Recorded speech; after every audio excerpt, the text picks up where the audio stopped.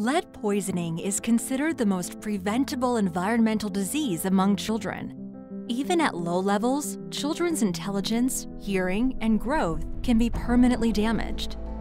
There is no safe level of lead. But where does lead come from? Lead is naturally found deep within the ground, but also can be found in a variety of everyday things. When ingested or inhaled, lead affects nearly every organ in our body, Kids under age 6 are especially at risk because they are still developing. They put everything in their mouths and they absorb lead easily into their bodies.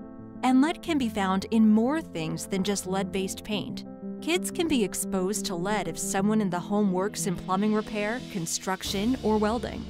Adults working in these occupations could potentially take home lead on their clothes, shoes, work items, and skin.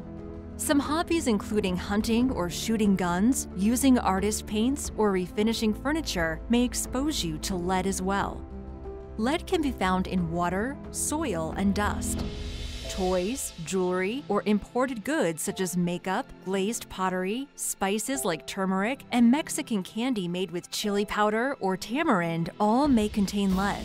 Home remedies and Ayurvedic medicines such as Azarcon, Greta, or Pelua that are used to treat various ailments in kids may contain lead. How can I help prevent my child from being exposed to lead? Reduce exposure to contaminated dirt and dust by washing your child's hands, keeping shoes outside, and using a vacuum with a HEPA filter. You can also limit exposure to dust that may contain lead by using a wet mop in your home instead of a broom. A diet that's high in calcium, iron, and vitamin C can also help protect children from lead poisoning. How would I know if my child was exposed to lead? Headaches, stomach aches, nausea, tiredness, and irritability are all symptoms of lead poisoning. However, children do not always show signs of illness until their levels are very high. How can I find out if my child was exposed to lead? The only way to know if a child has lead poisoning is through a blood test. All children should be evaluated by their healthcare provider for their risk of lead poisoning at 12 and 24 months of age. Children living in high risk zip codes should also get a blood test.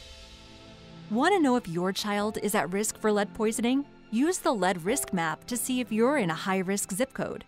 If your child has been identified with an elevated blood level, remove or reduce exposure to the source of lead and schedule a follow up test to ensure that lead is leaving the body. Childhood lead poisoning is dangerous, but can be prevented. For more information and resources on lead poisoning and how to prevent it, please visit azhealth.gov/lead or call 602 364 3118.